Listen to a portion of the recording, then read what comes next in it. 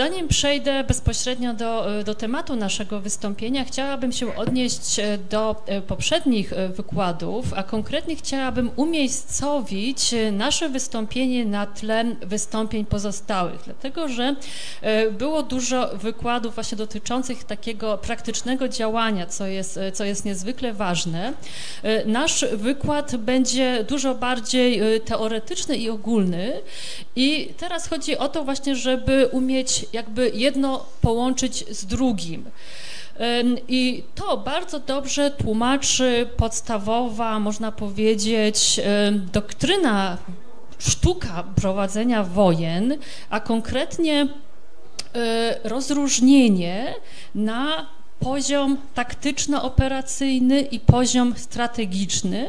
E, w walce takiej społecznej odróżniamy, wyróżniamy jeszcze poziom ideologiczny, czyli tak, jeśli prowadzimy wojnę, a tutaj konkretnie e, można powiedzieć wojnę informacyjną, wojnę e, o, społe, o społeczeństwo, mamy do czynienia z poziomem najwyższym ideologicznym, który dotyczy podstawowych celów społeczeństwa, po co funkcjonujemy jako społeczeństwo, jaki jest cel społeczeństwa, po co funkcjonujemy jako ludzie, jaki jest cel nasz, e, prawda, ludzki, e, jakimi metodami chcemy osiągać nasze cele, czyli to jest właśnie ten taki, można powiedzieć, poziom ideologiczny i my się na tym poziomie będziemy poruszać, ale poniżej mamy poziom strategiczny, który dotyczy tego, żeby opracować, no właśnie strategię realizacji wytyczonych przez nas celów, prawda, a poniżej mamy cel, mamy poziom taktyczny i operacyjny. I teraz E, te wykłady, które były, e, były wcześniej, przede wszystkim właśnie dotyczyły tego poziomu operacyjnego,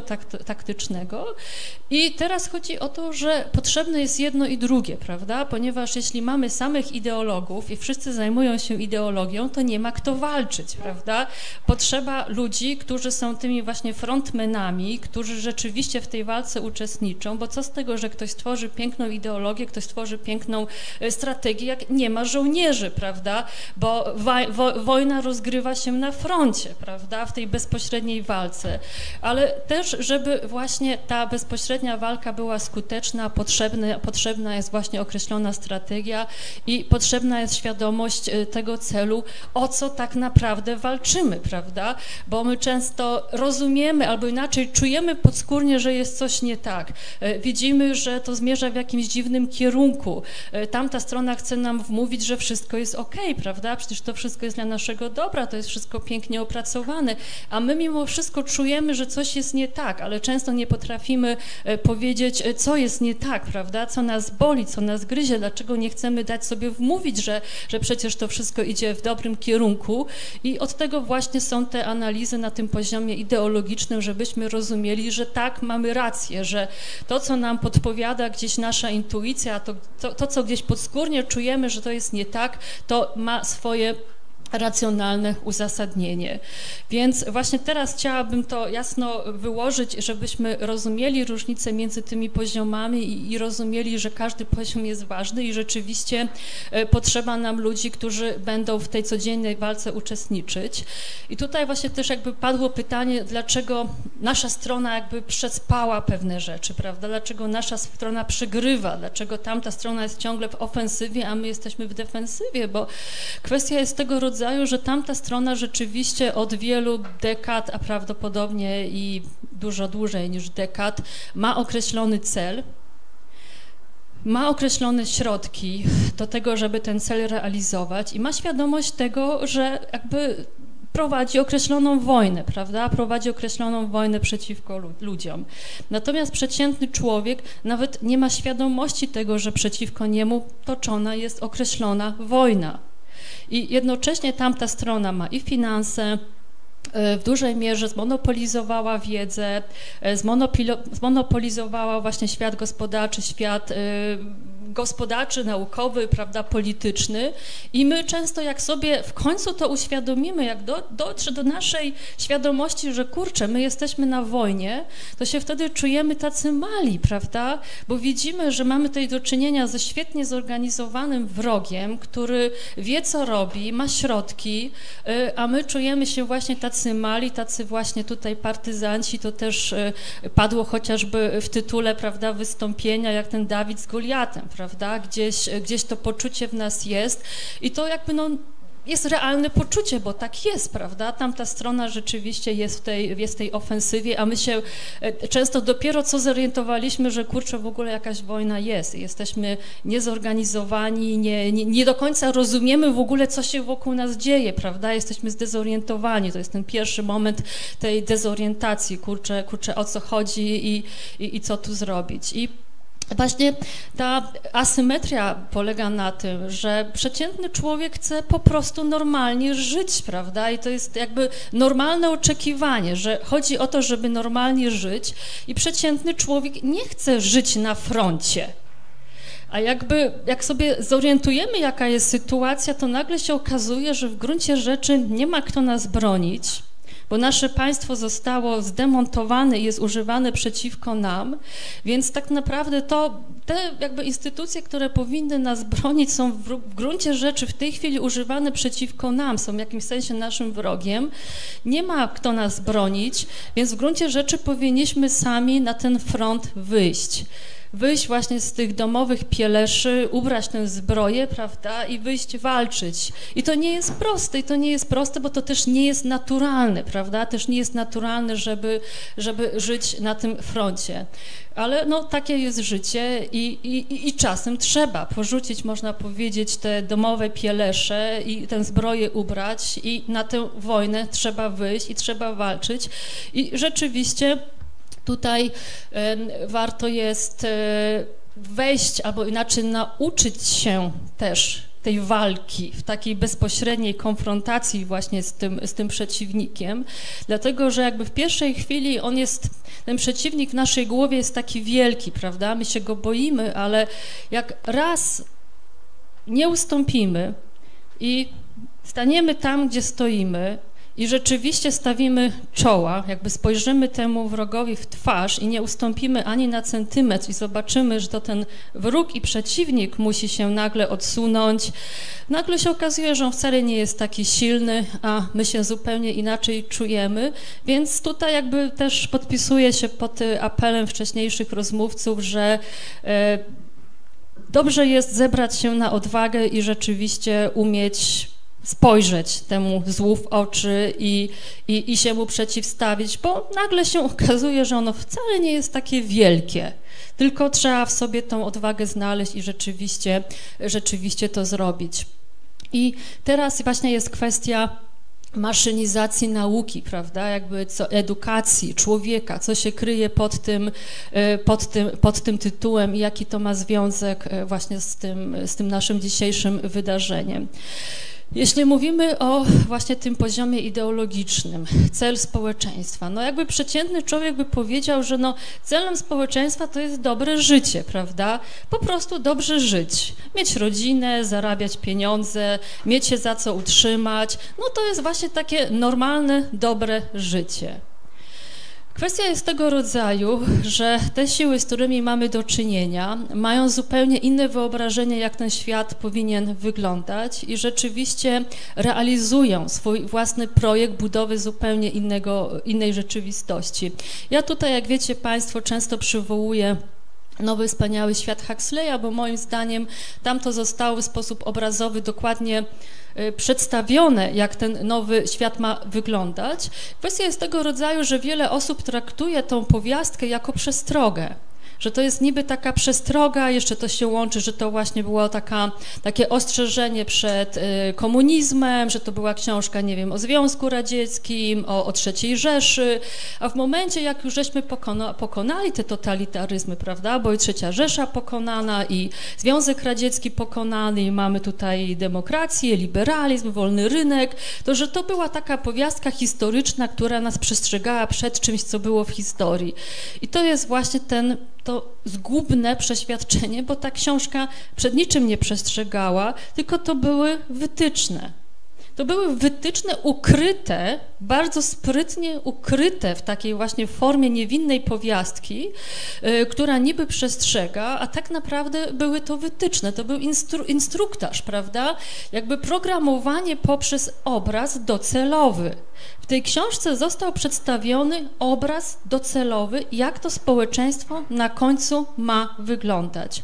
I w skrócie widać wyraźnie, że jest to społeczeństwo przede wszystkim jakby trochę przypominające e, system kastowy, prawda, e, ten hinduski, gdzie mamy do czynienia z hierarchią, hierarchią kilku warstw społecznych, e, które zajmują określone miejsce w społeczeństwie i to właśnie uhierarchizowanie tego społeczeństwa ma zapewnić totalną stabilność.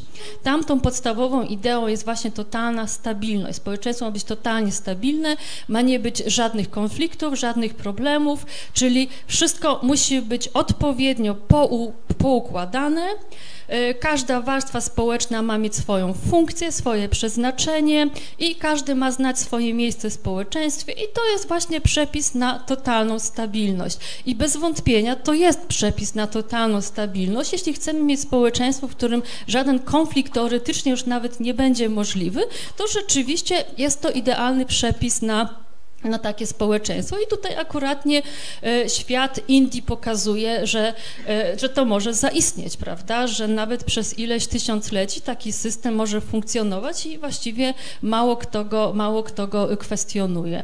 Więc tu jest właśnie ta idea tej, e, tej hierarchii, stworzenia nowej hierarchii, uporządkowania ludzi na nowo według określonej hierarchii i każdy oczywiście ma mieć swoją rolę w tym systemie systemie. I teraz jaki jest związek z tym, co powiedziałam wcześniej e, w kontekście właśnie rozróżnienia na ten poziom ideologiczny, strategiczny, operacyjno-taktyczny? No oczywiście każdy poziom związany jest też z określoną wiedzą i umiejętnościami, prawda?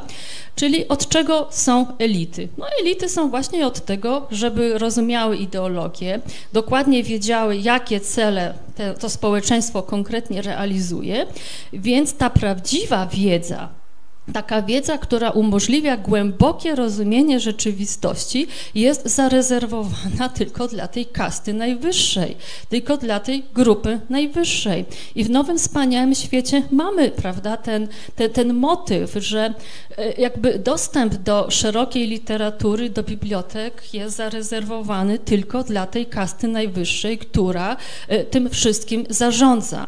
Mamy potem niższe kasty, prawda? I każda kasta ma mieć taką wiedzę, jaką ma mieć. Każda kasta ma mieć taką wiedzę, jaka jest dla tej kasty przeznaczona, bo dzięki temu będzie porządek.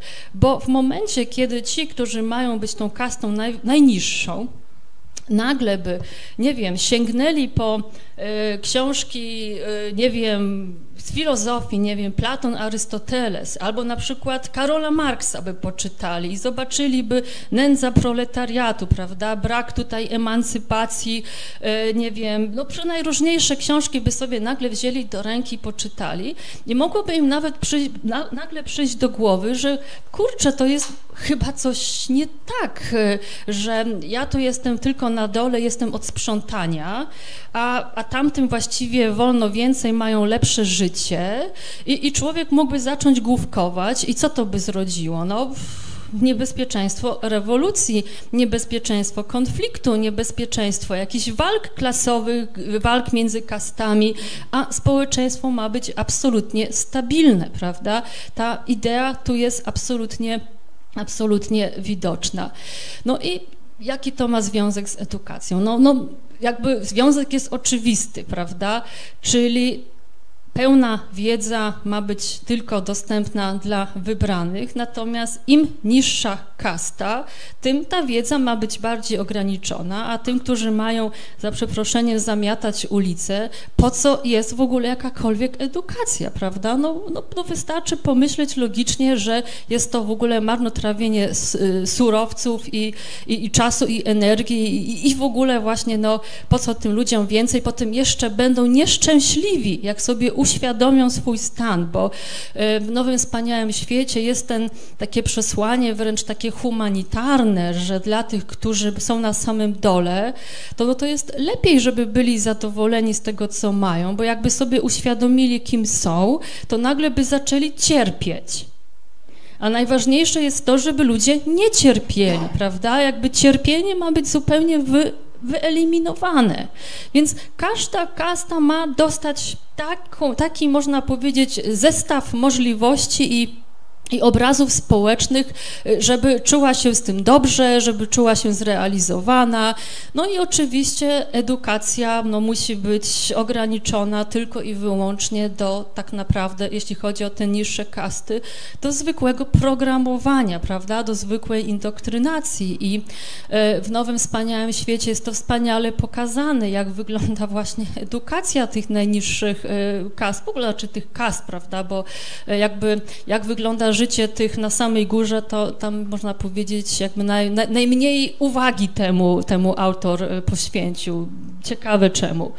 No i jak wygląda? No, dzieci się rodzą i puszczane są w tej, jak rodzą, tam nie ma nawet już rodziny, prawda? Dzieci są chowane w tych y, w butelkach, są odkorkowy, odkorkowywane, no bo cała reprodukcja też już jest technologiczna. No i jak są odkorkowywane, no to są tam, leżą w tych jakichś tam salach, no i, i puszczane są po prostu określone y, komunikaty, prawda, że y, to jest, to jest dobre, tak i tak trzeba myśleć, tak i tak się trzeba zachowywać. No jest pełne właśnie programowanie na podświadomość, czyli nie zachodzą tam jakiekolwiek procesy autorefleksji, prawda? Jest pełne programowanie. No i to właśnie nas prowadzi do tego do tej naszej tezy, y, że to jest właśnie taka maszynizacja, w sensie, że mamy tutaj do czynienia z pewnym obrazem człowieka i z pewnym obrazem świata, gdzie człowiek rzeczywiście traktowany jest dosłownie jak takie zwierzątko z ludzką twarzą, które musi być wtłoczone w określony, odgórnie zaprojektowany system i jego percepcja rzeczywistości, świadomość, samoświadomość musi być dostosowana do jego miejsca w systemie, a w związku z tym musi jakby cała, cała nauka edukacja sprowadza się tylko i wyłącznie właśnie do takiego podświadomego programowania, tak jak programujemy maszynę, prawda? Wgrywamy maszynie określony program. I dokładnie tak sobie ci, którzy tym projektem zarządzają, to dokładnie tak sobie wyobrażają proces edukacji, prawda, że człowiek to jest taka maszyna y, myśląca, w sensie, że tam jest właśnie jakaś tam, można powiedzieć, y, sztuczna inteligencja, w sensie, że w gruncie rzeczy oni patrzą na człowieka rzeczywiście jak na taką maszynę ze sztuczną inteligencją, prawda? Że właśnie jakby e, nasze procesy myślowe sprowadzają się do tego, że nam się tak jak w, jak w komputer wprowadza pewien program, programuje się i człowiek już potem, jak ten komputer według tego programu działa. To jest ich wyobrażenie człowieka, ich wyobrażenie e, programów, e, jakby tego, czym edukacja ma być.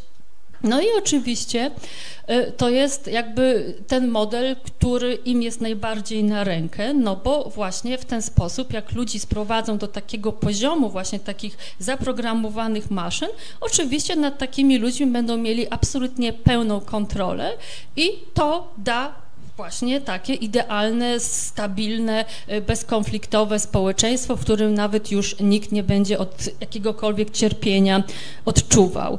No i jak teraz popatrzymy właśnie, tutaj właśnie poruszamy się po takim wysokim poziomie abstrakcji, który się wydaje dla przeciętnego człowieka nie, niewyobrażalny, prawda? Jak tak można, że, że, że, że, że mogą być ludzie, którzy mogą w ten sposób myśleć, że mogą być ludzie, którzy taki cel realizują.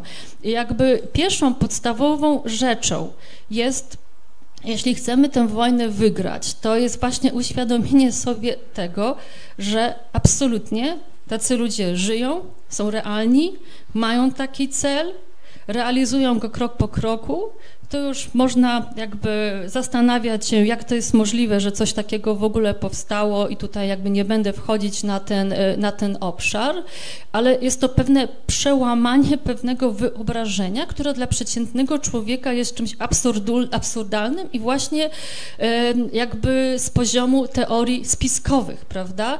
Bo przecież my ciągle słyszymy, że już idziemy ku dobremu, wojny się skończyły, e, wystarczy, że się właśnie tych wszystkich e, fobów różnego rodzaju, prawda, tam jeszcze e, spacyfikuje, przecież władza dla nas dobrze chce, przecież ona się o nas troszczy, prawda? My to ciągle słyszymy i przeciętny człowiek w to wierzy, no bo jakby nie ma powodu, żeby nie wierzyć, a uświadomienie sobie tego, że jest to właśnie już element tego programowania, jest właśnie dla wielu pewnym wstrząsem. I nie każdy potrafi się z tym zmierzyć. Są ludzie, którzy to odrzucą, są ludzie, którzy biorą to właśnie na klatę i zaczyna do nich docierać, że ci ludzie są tak naprawdę naszymi wrogami, są agresorami, że my naprawdę mamy do czynienia z agresją i tutaj właśnie podpisuję się pod tym, y, co, co mówił y, jeden z poprzednich y, prelegentów, że to jest wojna i tu nie ma litości, tu się nie bierze jeńców, prawda? Że to jest albo, albo, albo ten projekt zostanie zrealizowany i rzeczywiście wszyscy zostaną uporządkowani i, i większość z nas jest przeznaczona do tego, żeby wegetować na tym najniższym poziomie. Jak się będziemy źle czuć, no to zawsze możemy sięgnąć po narkotyki, bo, bo, bo tak ma być, prawda, żebyśmy się lepiej poczuli, albo realizujemy inny projekt społeczeństwa, ale właśnie jakiego, prawda? I jakby do tego, do tego odniosę się na końcu, jeszcze powiem parę słów właśnie, jak ten inny model powinien wyglądać, a teraz jeszcze oddam głos Adamowi.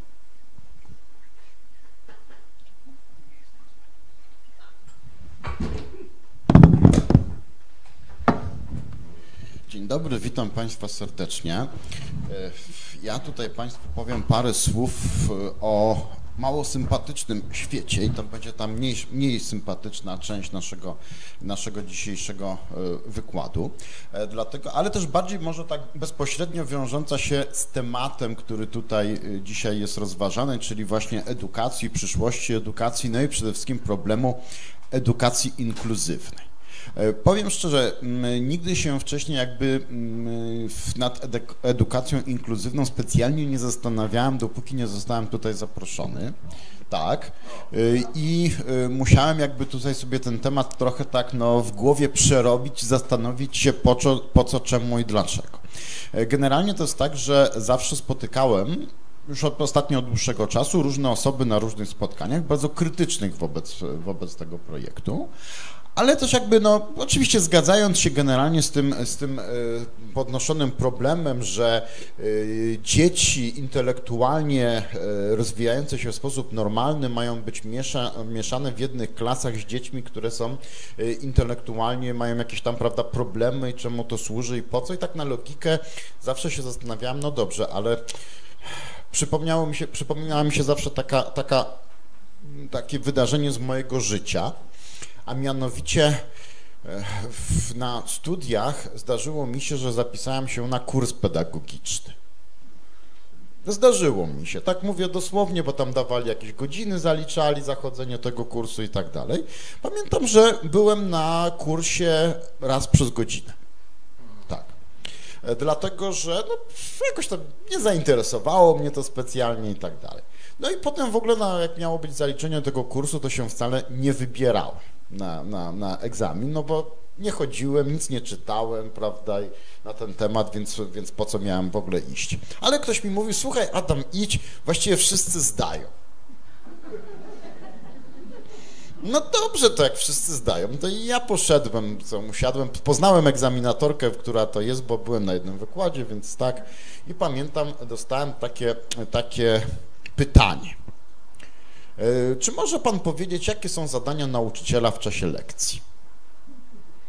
No i tak sobie wtedy, no powiem tak, jak się nie ma wiedzy, to trzeba włączyć komórki, prawda, kory mózgowej i sobie tak mm, zadałem takie pytanie, odpowiedziałem pytaniem, e, czy mam powiedzieć to, co Pani mówiła na wykładzie i co jest w Pani książce, e, czy też to, co na ten temat sam myślę?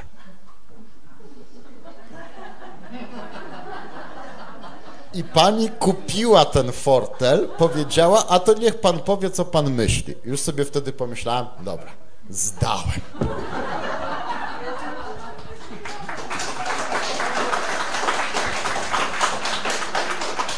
Ale dlaczego o tym mówię? Dlatego, że odpowiadając na pytanie, jakie są zadania nauczyciela w czasie lekcji, stwierdziłem rezolutnie, że no, wydaje mi się, że nauczyciel powinien tak przedstawić e, materiał, który jest na daną lekcję przeznaczony, żeby e, w klasie nawet dziecko, które jest e, najmniej jakby oczytane, rozwinięte, inteligentne i tak dalej, zrozumiało o co chodzi, a potem nauczyciel musi wykryć i zlikwidować ośrodki nieuctwa, bo ma charakter zaraźliwy. Pamiętam, że pani tak zrobiła dziwne oczy, tak, i mi powiedziała, że no, wie pan, w starszej literaturze przedmiotu y, spotyka się takie interpretacje. Truja, sio. No i w ten sposób, w ten sposób y, zdobyłem coś, co dzisiaj jest, każdy, kto jest nauczycielem wie jak cenne, to znaczy dyplom, y, że mogę nauczać w szkołach podstawowych i średnich tam historii bodajże i WOS-u, z tego co pamiętam. Teraz to specjalne studia podyplomowe, żeby taki dyplomik dostać i trzeba rok chodzić na studia podyplomowe, a ja tak, no, tak. Ale w każdym razie, e, dlaczego o tym mówię? Dlatego, że mówiąc o tym, jak sobie wyobrażałem e, zadania nauczyciela na lekcji, powiedziałem, że nauczyciel musi tak wyłożyć materiał, aby każdy uczeń, nawet ten najsłabszy na sali, zrozumiał o co chodzi. I tutaj dochodzimy do problemu, który jest przed nami, jakby jest tematem czy pretekstem tej, tej całej naszego dzisiejszego spotkania, czyli edukacja inkluzywna. Bo proszę Państwa, y, jeśli mamy grupę y, dzieci, taką jak one do tej pory chodziły i wyobrazimy sobie ucznia najsłabszego, który tam niewiele czyta, niewiele wie i tak dalej, go generalnie nic nie obchodzi. A teraz weźmy do tej klasy, dołóżmy ucznia czy dwóch, którzy są intelektualnie opóźnieni.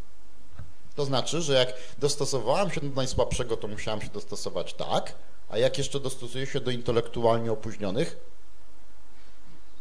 tak. Jeszcze, jeszcze niżej muszę zejść. I nie chcę przez to powiedzieć, że ci uczniowie niepełnosprawni, na przykład intelektualnie, są gorszymi ludźmi. Absolutnie nic z tych rzeczy. Ludźmi są tak samo jak my, y, mają sam, taką samą duszę dostali od Pana Boga, dostali również rozum od Pana Boga, ale z różnych powodów natury biologicznej czy jakiejś tam innej skomplikowanej są opóźnieni i nie są w stanie swojej potencji intelektualnej rozwinąć na takim samym poziomie jak reszta dzieci. No niestety tak jest. Świat nie jest sprawiedliwy i dlatego stąd powstawały zawsze szkoły specjalne po to, żeby na przykład mogli zdobyć jakiś zawód, prawda, czegoś i tak dalej. E, I teraz pojawia się pytanie, e, dlaczego w takiej sytuacji ktoś nagle wpadł na pomysł, aby mm, e, te dzieci połączyć w jedne klasy z tymi dziećmi, które się, które się rozwijają intelektualnie w sposób, no, nazwijmy tak, to się dzisiaj ładnie nazywa, normatywny. Ja pamiętam, że była taka dyskusja na początku lat 90., może Państwo jej nie pamiętają, ale ja pamiętam, że na początku lat 90. pojawił się taki pomysł, że jeśli w jakiejś szkole, na przykład podstawowej, są cztery klasy pierwsze, czy trzy klasy pierwsze, to się pojawiał właśnie taki pomysł, żeby tam y, po jakimś czasie zrobić taką selekcję i robić z tych trzech klas jedną klasą, klasę najlepszych, no i resztę klas takich no, pozostałych. No i wtedy tłumaczono to, że w takiej sytuacji ta osoba najsłabsza intelektualnie, dziecie, dziecko najsłabsze intelektualnie, jak średnia najsłabsza jest powiedzmy tutaj, no to w tej klasie, w tej jednej będzie tutaj. Czyli będzie można realizować specjalny program, taki bym powiedział bardziej no, w, rozwinięty, z większą ilością różnych dodatków, pro, jakichś tam po, elementów programowych i tak dalej, ponieważ te dzieci są bardziej inteligentne, lepiej się rozwijają, chętnie się uczą, chętnie się czytają, więc w klasach tych normalnych, no można tak powiedzieć, no kotwica je trzyma przed rozwojem. I pamiętam, że wtedy zostało to strasznie oprotestowane przez część rodziców, którzy się obawiali, że ich dzieci będą w tych klasach normalnych i będą to traktowały te dzieci jako stygmatyzację, że są głupsze. Ja powiem tak, ja rozumiem tych rodziców, co nie zmienia faktu, że generalnie sam pomysł popiera. Ale teraz zauważcie Państwo, minęło 30 lat i pomysł jest odwrotny. Że do tych klas nie tylko, że nie należy tych najlepszych uczniów wyselekcjonować do oddzielnej, to jeszcze należy dołożyć kotwicę. Czyli jakby pomysł jest zupełnie odwrotny do tego. No i teraz zacząłem się zastanawiać, dobrze, są dwie możliwości. Albo ktoś, kto to wymyślił w jakimś tam ministerstwie którymś, pewnie edukacji, jest głupi, zawsze jest taka możliwość, tak, no jest taka możliwość. Ja na przykład nigdy nie możemy zrozumieć z żoną, jak jedziemy, wyjeżdżamy od nas z domu w prawo, mamy na skrzyżowaniu, dlaczego ktoś w pewnym momencie skasował strzałkę, która tam zawsze była przez całe lata i wszyscy przez, przez, żeśmy zawsze w prawo skręcali na zielonej strzałce, a teraz musimy czekać, aż się światło zmieni, a nikt nie jedzie w ogóle w tą stronę. Nasze rozumowanie jest takie, że ktoś był głupi. Więc być może, że trzeba założyć, że po prostu to samo mamy z ministerstwem. Ale biorąc pod uwagę, że projekt ten cieszy się, bym powiedział, tak dużą sympatią zarówno urzędników ministerialnych, różnych tam, prawda, wpływowych środków opiniotwórczych i tak dalej, i tak dalej.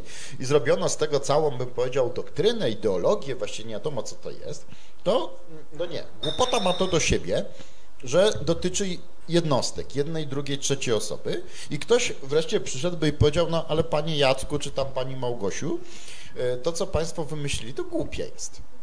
Więc jeżeli projekt dalej jest mimo wszystko forsowany, to znaczy, że za tym się kryje pewien pomysł. I teraz, co to może być za pomysł? No, ktoś powie teorię spiskową w tej chwili Wielomski powie, no powie. Naczytałem się Klausa Schwaba, naczytałem się Harariego, i zacząłem się zastanawiać nad jedną rzeczą. Zresztą to powiem szczerze, e, ostatnio mi się ten problem pojawił, dlatego że jeden z moich e, doktorantów ostatnio przechodził e, egzamin doktorski z nauk o polityce i tam się pojawiło takie, takie pytanie do niego.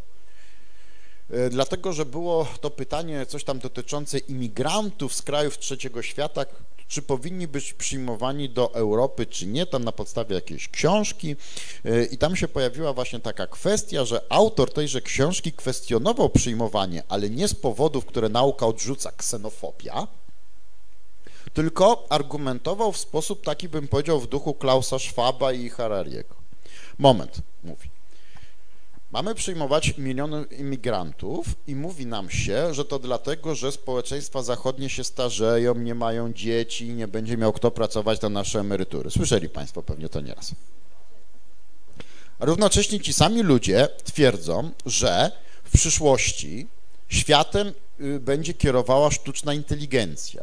Sztuczna inteligencja będzie kierowała koparką. Sztuczna inteligencja będzie pracowała zamiast sekretarki Sztuczna inteligencja będzie obsługiwała samochody, nie będzie kierowców, taksówkarzy i tak dalej. I te, tenże Klaus Schwab czy Harari mówią wprost, że jakieś 80-90% ludzi w przyszłości będzie zbędne. No to jak jest? To potrzebujemy tych ludzi z trzeciego świata, żeby ktoś miał pracować na nasze emerytury, czy też 80 czy 90% nazwijmy to autochtonów w Europie będzie zbędnych, no albo jedno, albo drugie.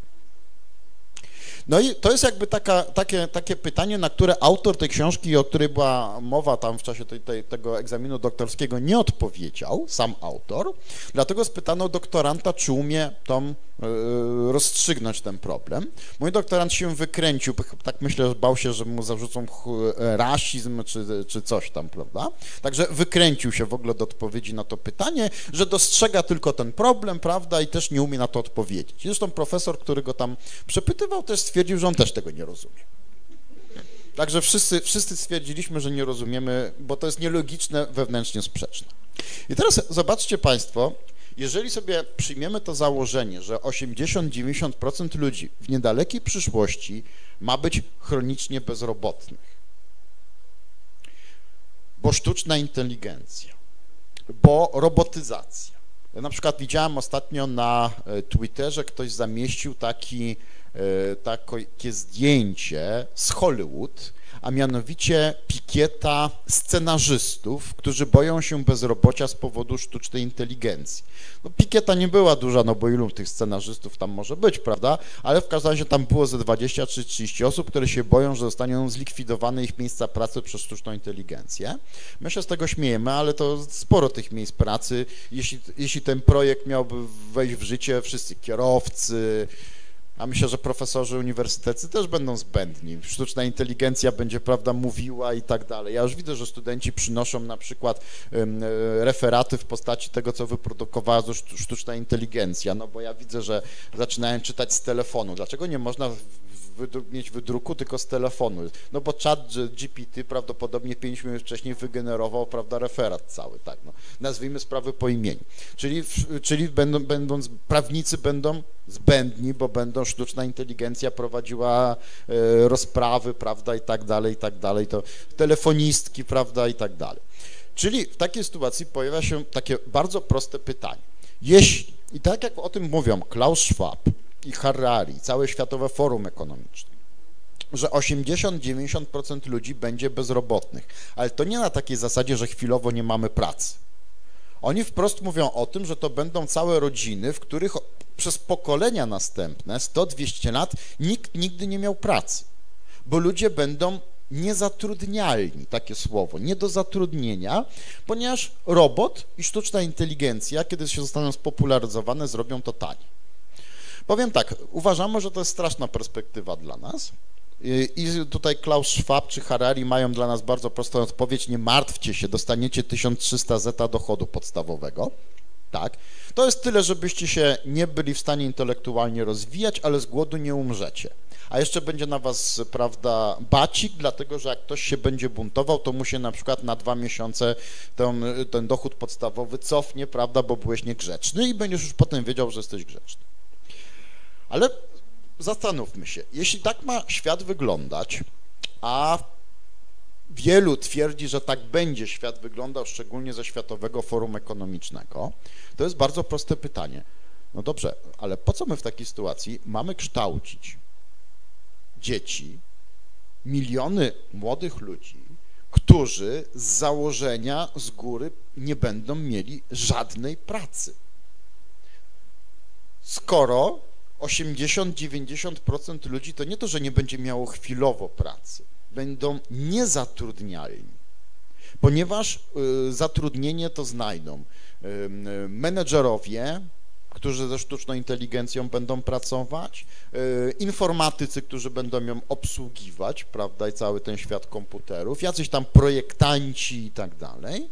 Klaus Schwab dodaje do tego, że jeśli są osoby duchowne na sali, są księża będą mieli również zatrudnienie, bo będzie trzeba z pociechą e, prawda, duchową iść do tych ludzi e, przez całe pokolenia niezatrudnialnych i psychiatrzy będą mieli według Harariego i Schwaba zatrudnienie, no bo trzeba będzie tych wszystkich ludzi od pokoleń niezatrudnionych leczyć antydepresantami. No to proste pytanie, no to po co ich uczyć? No wyobraźmy sobie coś takiego. Wiemy, że na przykład tutaj ktoś będzie, o, na przykład mamy młodą damę. I sztuczna inteligencja ogłosi, że w, jak pani wejdzie w, w cykl, że tak powiem, zawodowy, to szanse znalezienia pracy dla pani będą 17%. No to po co panią kształcić?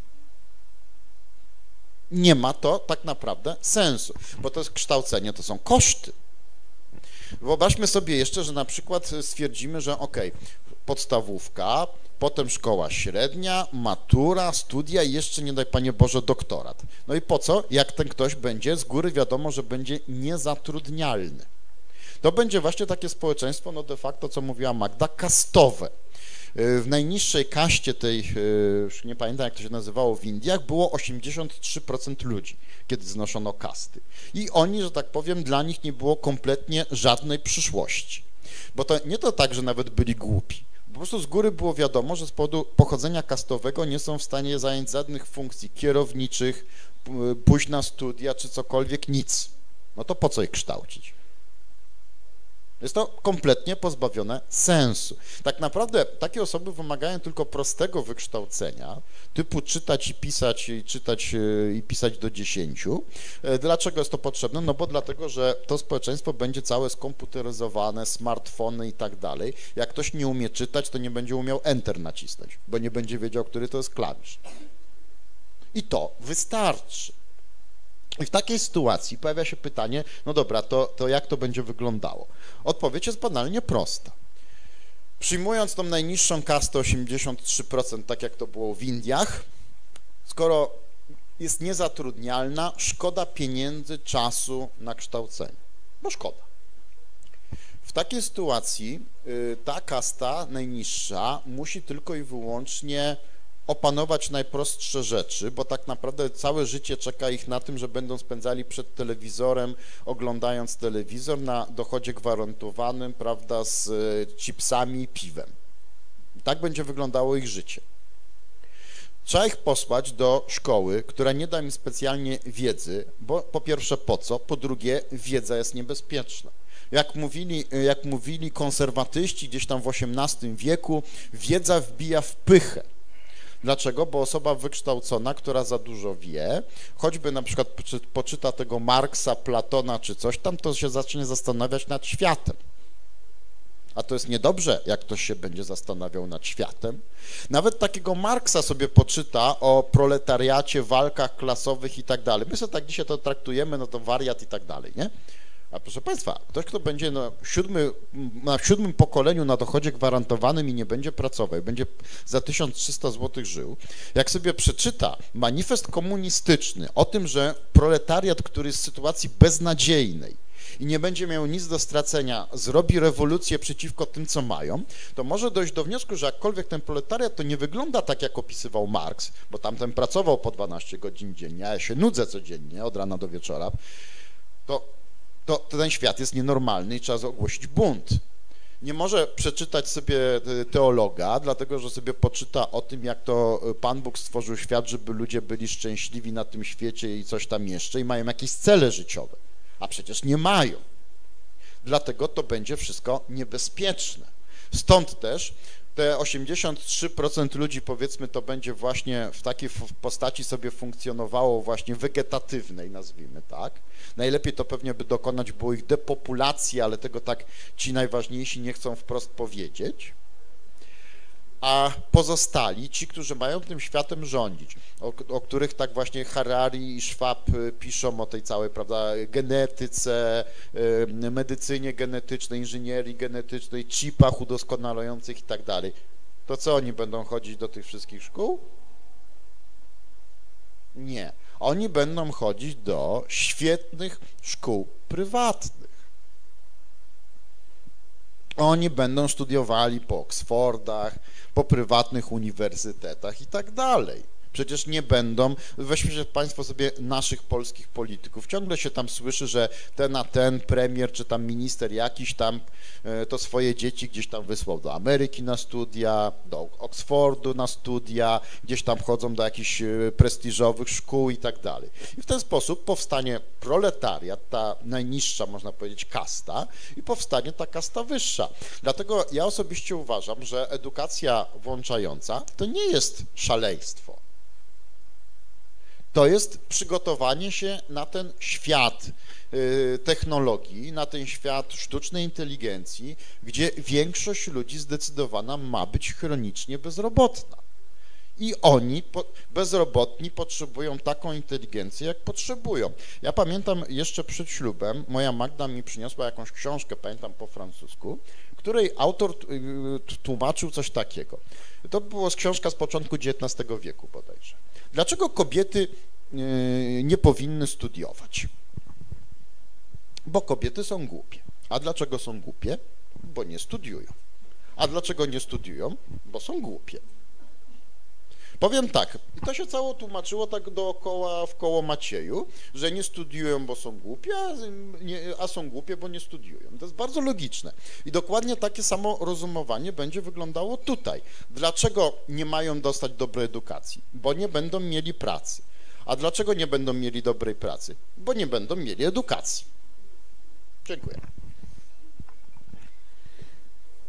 I teraz jeszcze właśnie jakby po, pojawia się pytanie to o to, o co dokładnie toczy się spór, prawda? O co dokładnie toczy się walka. No i tutaj oczywiście takim kluczowym sformułowaniem jest to, o czym nieraz mówiłam, ale przytoczę to jeszcze raz, kiedy Schwab w swojej książce Wielki Reset powiedział wprost, że niedługo będziemy inaczej liczyć czas, prawda? Nie od narodzenia Chrystusa, tylko od rozpoczęcia pandemii, no bo zaczyna się nowa era.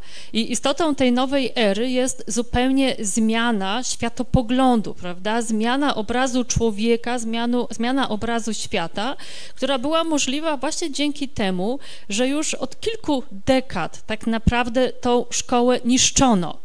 Bo my mamy obraz, prawda, że teraz, że teraz się coś pojawiło i, i że teraz ją zaczęto niszczyć. Nie, to już był proces, który zaczął się od kilku dekad, kiedy ze szkół usunięto e, przede wszystkim filozofię, kiedy także usunięto, można powiedzieć, lekcje religii, ale które jeszcze opierały się na tych, nazwijmy to, przed, przedwojennych e, podręcznikach, kiedy zaczęto niszczyć całą edukację klasyczną, dlatego że cała cała edukacja klasyczna opierała się na określonym właśnie obrazie świata, określonej koncepcji człowieka.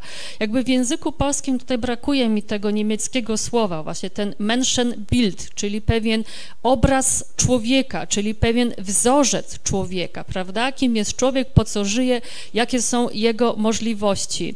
I ten wzorzec, który na którym opierała się edukacja klasyczna, e, on wynikał i ze świata starożytnej Grecji, Rzymu i przede wszystkim na chrześcijańskim rozumieniu człowieka, czyli jako istoty duchowo-materialnej, obdarzonej rozumem i wolną wolą, gdzie edukacją, celem edukacji było wychowanie prawego człowieka, czyli nauczenie człowieka tego, żeby umiejętnie posługiwał się i swoim rozumem, prawy rozum, i wolną wolą. Prawa, prawda, można powiedzieć, ta e, dobra wola, czyli uzdatnienie człowieka do tego, żeby e, wybierał dobro, a nie zło.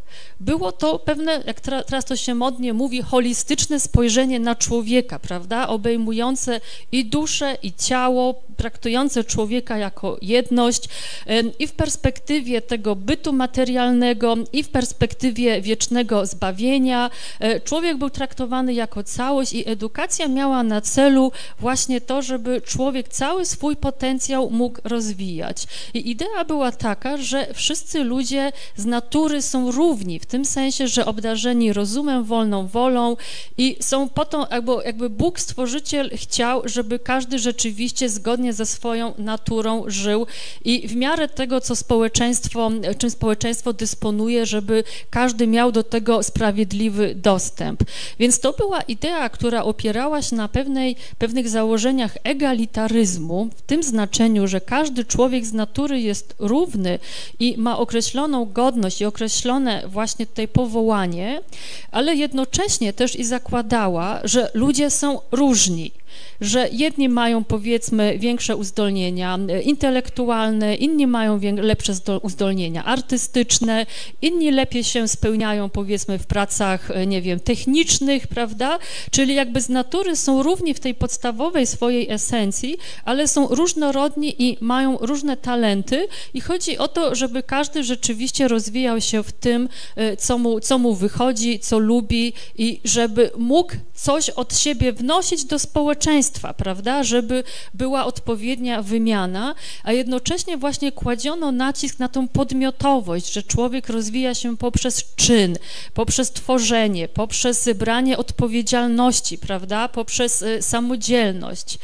I mamy do czynienia z walką właśnie z tym obrazem człowieka.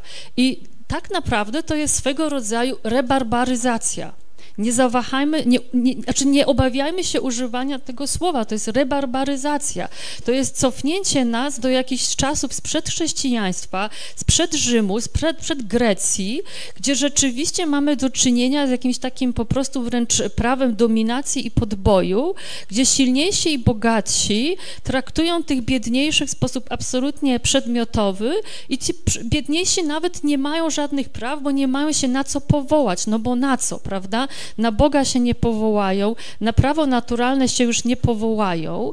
I, I o to tak naprawdę toczy się walka, o to właśnie w jaki sposób myślimy o człowieku. Kim jest człowiek? Za kogo my się sami uważamy jako ludzie? I to, że doszliśmy do takiego momentu, wynika też właśnie z naszych zaniedbań bo daliśmy sobie wmówić przez te ostatnie kilkadziesiąt lat tego chorego konsumpcjonizmu, że nie musimy się takimi tematami zajmować że esencją życia jest po prostu materializm, esencją jest konsumpcja, esencją jest dobrobyt, a wszystko toczy się właściwie wokół produktu narodowego brutto, prawda? PKB jako święta krowa. To był tak naprawdę pewien kult mamony, wszystko było podporządkowane pieniądzom i to już było wdrażanie. I to już było wdrażanie po prostu tego projektu. To się nie zdarzyło z dnia na dzień to było uśpienie czujności, to było uśpienie czujności ludzi, właśnie sprowadzenie wszystkiego do kwestii pieniędzy, do kwestii zarabiania, wartościowanie ludzi poprzez stan posiadania. Ja mam, mam jeszcze to szczęście, że, że urodziłam się e, w komunizmie, w PRL-u, że jeszcze żyłam w tamtym społeczeństwie i na własnej skórze przeżyłam tę zmianę, która zaczęła się w latach 90., kiedy pamiętam jeszcze, że rzeczywiście w tej szkole PRL-owskiej ona już była ona już była złamana, prawda? Tam już nie było tej edukacji klasycznej, ona została zniszczona w czasach y, stalinizmu, ale tam jeszcze była ta idea tej równości szans, w sensie, że jak ktoś chce się uczyć, że jak ktoś ma ambicje, to się go wspiera. I naprawdę ta szkoła wspierała, były przenajróżniejsze olimpiady, prawda? Tych zdolnych się wysyłało, na te olimpiady. Y, nauczyciele mieli jakieś tam dodatkowe, nie wiem, nadgodziny, świetlice, nieświetlice.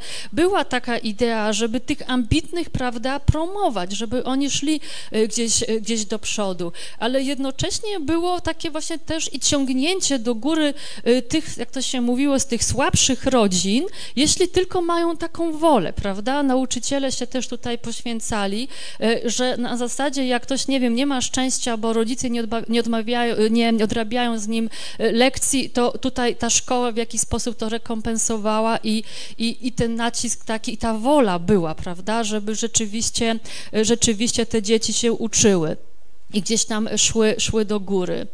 I potem pamiętam, jak e, pojawiło się właśnie lata 90.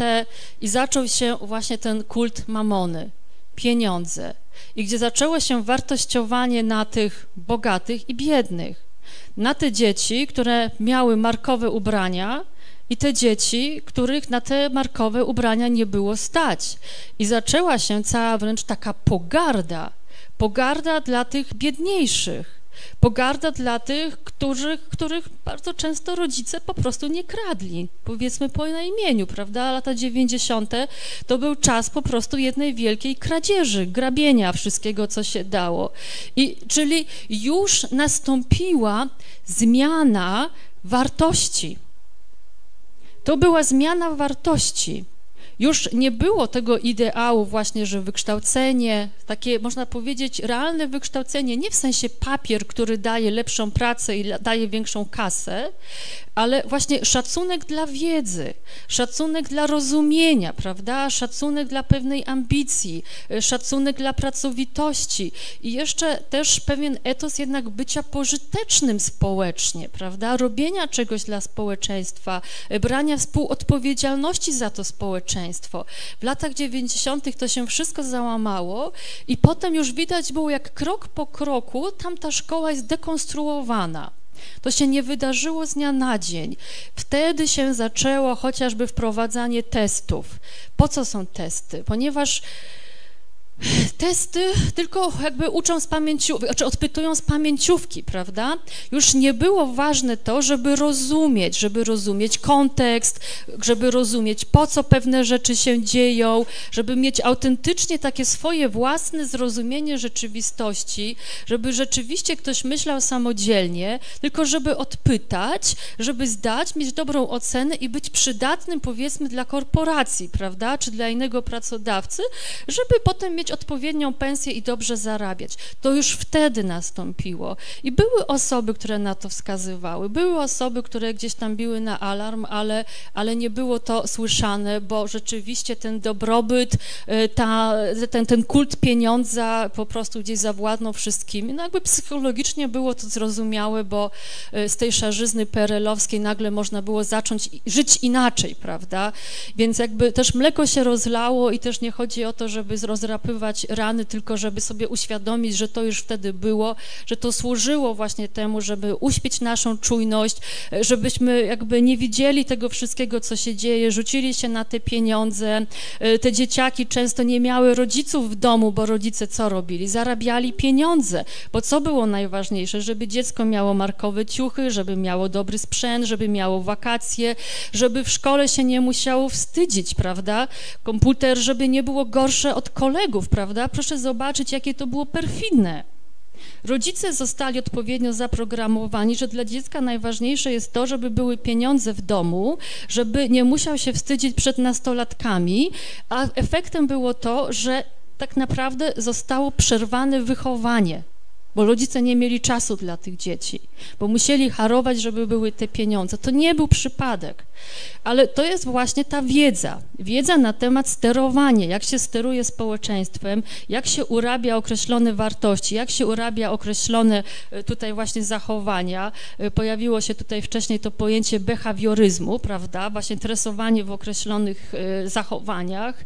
I to już jest wiedza z poziomu strategicznego, a nawet właśnie tego ideologicznego. To już jest ta wiedza z najwyższego poziomu i od tej wiedzy społeczeństwo zostało odcięte i jest odcinane, odcinane coraz bardziej. Więc teraz już Podsumowując, chodzi o to, żeby zrozumieć, że sprawy zaszły tak daleko, bo, bo przespaliśmy, bo wróg miał przewagę, bo był lepiej zorganizowany, miał określony cel, y, miał wiedzę, ma, miał środki masowego przekazu, y, kontrolował świat gospodarczy, i jakby regulował, gdzie przyciąć, gdzie wypuścić, prawda? Gdzie mniej, gdzie więcej i, i te sprawy zaszły tak daleko. I, i teraz cieszmy się tym, że, że mamy jakby świadomość tego, co się dzieje, że, że nie, uśpieli, nie zostaliśmy uśpieni do końca i to jest ten moment, żeby zrozumieć, że ta wojna jest i że się musimy zbroić na tę wojnę i wyjść po prostu z tych pieleszy domowych i,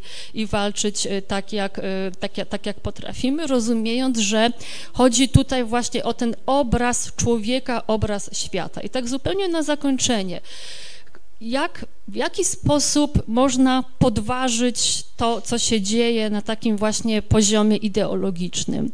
Proszę zobaczcie, że oficjalnie, taka oficjalna narracja jest taka, że mamy wolność sumienia, wolność słowa, prawda?